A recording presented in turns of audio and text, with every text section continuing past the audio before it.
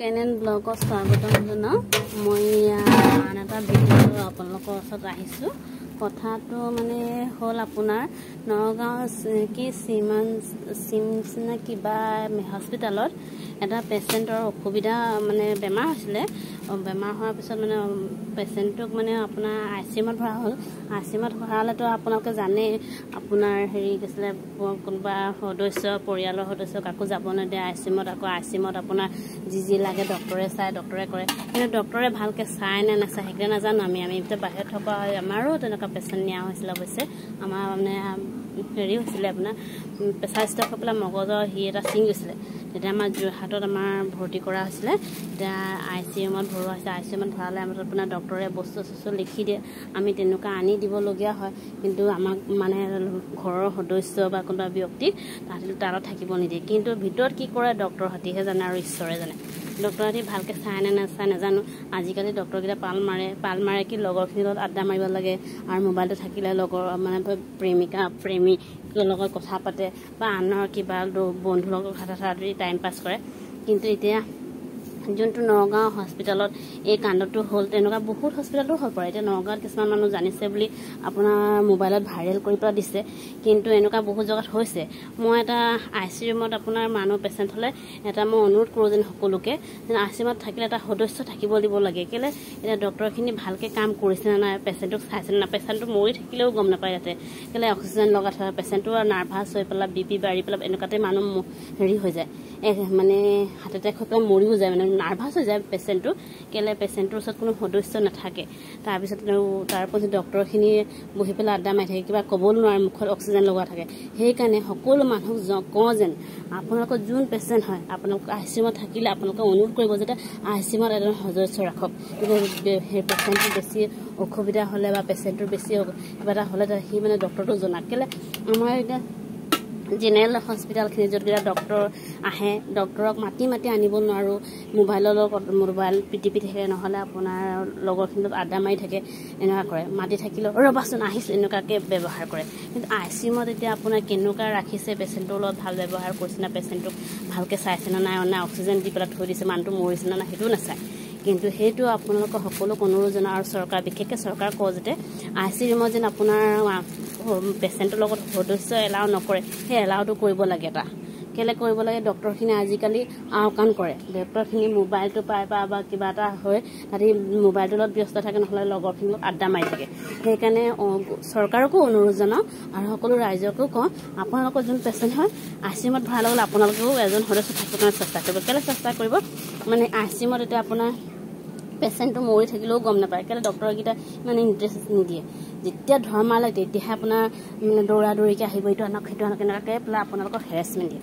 সেইকাৰণে মই এই ভিডিঅ'টো বনোৱাৰ কাৰণ এইটোৱে হৈছে যাতে আই চি ইউমত যেতিয়া পেচেণ্টটোক ৰাখে তেতিয়া নহয় তাক ভালকৈ চাব লাগে। ডক্টৰখিনিৰ ওপৰতে আমি আশা কৰি এৰি দিওঁ আই চি ইউমত ওপৰত ভগৱান তলত ডক্টৰ আমাৰ আল্লাহ বাহিৰে আৰু কোনো আমি বাহিৰত আমি প্ৰাৰ্থনা কৰিব পাৰোঁ দোৱা কৰিব পাৰোঁ। সেইটোৱে কথা। সেইকাৰণে আপোনালোকক সকলো অনুৰোধ জনাওঁ যাতে এনেকুৱা পেচেণ্ট বোলে কাৰোবাৰ যদি এনেকুৱা পৰিস্থিতি আহিছে যে আমাৰ পেচেণ্টটোক আপোনালোকে হেৰি আই চি এমত ভৰাবলগীয়া হৈছে আমি আই চি এমত থাকিম এনেকুৱা জোৰ কৰিব। আৰু চৰকাৰকো অনুৰোধ দিওঁ যে অনুৰোধ কৰোঁ যাতে চৰকাৰে এইটো অনুমতি দিয়ে যেন আই চি এমত এটা পেচেণ্টৰ লগত এটা ব্যক্তি থাকিব লাগে তেতিয়া সেই ডক্টৰখিনিৰ ওপৰত চকু দিব পৰা যায়। আৰু মই এটা ফিল্ম চাইছিলোঁ আপোনাৰ গব্বৰ সিং নেকি ছাৰ অক্ষয় কুমাৰ আছিলে।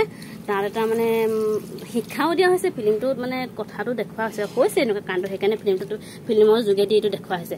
আজিকালি মানে এইটো ধান্দা হৈ গৈছে। আই চি ৰুমত এটা পেচেণ্টটো ভৰাই পেলাই আই চি ৰুমত মানে ধৰক বেজী যদি এটা লাগে এটা দহ তিনি চাৰিটা লিখি দিব বা পাঁচটা লিখি দিব তেনেকুৱা লিখি পেলাই কি কৰে এটা বেজী দিব বাকীখিনি সিহঁতে ব্লেকত বিকি দিয়ে। এতিয়া মোৰ ক্ষেত্ৰতে মই কৈছোঁ মোৰ এটা যেতিয়া মোৰ প্ৰেগনেঞ্চি আছিলে আপোনাৰ পোন্ধৰ চনৰ মোৰ সৰু ছোৱালীজনী জন্ম হ'বলৈ আছিলে তেতিয়া মোৰ বিষ বিষ উঠিছিলে যেতিয়া মোৰ ছোৱালীজনী ডেলিভাৰী হ'বলৈ হৈছিলে তেতিয়া মই আপোনাক চিভিলত মোক ভৰ্তি কৰিছিলে তেতিয়া মোক বেজী আপোনাৰ পাঁচটা লিখি দিছিলে। এটা বেজী আপোনাৰ ডেৰশ টকাকৈ। ডেৰশ টকাকৈ লিখিছিলে পাঁচটা লিখি দিছিলে। আমাৰ পাঁচটা নানিলে চাৰিটা আনিলে ছশ টকা দি পেলাই। এটা বেজী দিয়াৰ কাৰণে দিয়াৰ পিছতে মোৰ বিষ উঠিলে মোৰ ছোৱালীজনী হ'ল বাৰু। বাকী চাৰি তিনিটা বেজী আমাক ঘূৰাই নিদিলে সেই বেজীখিনি সেই মানে কাউণ্টাৰত বা নাৰ্ছকেইজনী ৰাখি থ'লে। সেই তিনিটা বেজী বিকিলে আপোনাৰ কিমানখিনি পাব কচোন চাৰে চাৰিশ টকা পাব নাই। সেই তেনেকুৱা ডক্টৰখিনিও কিছুমান খেলি মেলি কৰে। আপোনালোকে কাৰণে সজাগতা হওক যাতে আপোনালোকৰ পেচেণ্টটো যেন কিমানটা বেজি দিলে কিমানটা কি ল'লে দিলে নে নাই এতিয়া আমাৰ চাপ'জ আপোনাৰ যোৰহাট মেডিকেলতে যাওঁ এইটো আনক সেইটো আনক সেইটো আনক এনেকৈ লৈ যায়। লৈ যায় অনাৰ পিছত এইটো নহয় সেইটো দিয়ক এইটো নহয় সেইটো দিয়ক। কিন্তু এনেকুৱা আপোনাৰ ৰাইজকহে বেছি হাৰাশাস্তি দিয়ে বেজীটোৰ পিছত বোলে সেইটো নিদিয়ে তাৰ আপোনাৰ এনেকুৱা ফাৰ্মাচীটোত গ'লে ফাৰ্মাচীও খং কৰে আপুনি কোন ডক্টৰৰ পৰা কিনিছিলে কি কথা আমাৰ পৰা লোৱা নাই আমি ঘূৰাই দিব নোৱাৰোঁ। এনেকুৱা ৰাইজৰো বহুত বিপদত পৰিবলগীয়া হয় পইচাখিনি নাপাব যায় আৰু এইটো মই যোগেদি কওঁ যেন আজিলৈ আজিকালি ধান্দাটো বেছি হৈছে। আপোনাৰ যদি এটা বেজি লাগে তাত আপোনাৰ তিনিটা চাৰিটা লিখি দিব তেতিয়া সিহঁতে সেই বেজীটো এটা দি পেলাই বাকী ব্লেকত বিকিব। সেইকাৰণে সকলো মানুহ ৰাইজক সজাগতা হ'বলৈ সজাগতা হওক হৈ পেলাই আপোনালোকে এনেকুৱা আই চি এমত পেচেণ্ট ৰাখিলে আপোনালোকে হেৰি এজন ব্যক্তি থকাকৈ আপোনালোকে ব্যৱস্থা কৰিবৰ কাৰণে চেষ্টা কৰিব আৰু চবে জোৰ কৰিব নহ'লে আপোনাৰ পেচেণ্টটো মৌত হ'বই মানে মৰিবলগীয়া হ'ব। কেলৈ? আপোনাৰ পেচেণ্টক এতিয়া ভালকৈ চাইছে নে নাই কি কৰিছে আমিতো নাজানো আমি বাহিৰত থাকোঁ ডক্টৰখিনিয়েহে চাই ডক্টৰখিনিৰ ভিতৰত আড্ডা মাৰি আছে না মোবাইল টিপিছে কোনে জানে? সেইকাৰণে সকলোৱে যেন আই চি এমত যাৰ যাৰ পেচেণ্ট থাকিব সিহঁতে অনুৰোধ কৰিব যাতে আমাক এজন থাকিব দিয়ক। আৰু পেচেণ্টটো কি লাগে কি নাই আপোনাৰ ডিটেইলছ হেৰি কি আছিলে কেইটা বেজি দিলে কি নাই সেইকেইটাও আপোনালোকে লিখি দিব লাগিব। আৰু হেৰি তেনেকুৱা কৰিলে ভাল হয়। তেতিয়া চৰকাৰ ৰাইজে যদি সজাগতা হয় তেতিয়াহে আমাৰ কিবা এটা ডক্টৰখিনি বা ডক্টৰ চব নহয় কিছুমান ডক্টৰ বহুত ভাল থাকে। কিন্তু কিছুমানৰ কাৰণে চব গোটেই ডক্টৰ জাতিকে গালি পৰা হয়। তেনেকুৱা আমাৰ কিছুমান মানে মহিলাই যদি বেয়া কাম কৰে গোটেই মহিলা জাতিক গালি পৰা হয় তেনেকুৱা কথা হৈছে।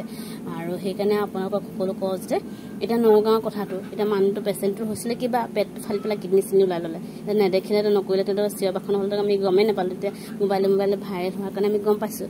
সেইকাৰণে এনেকুৱা ঘটনা বহুত জেগাত হয়।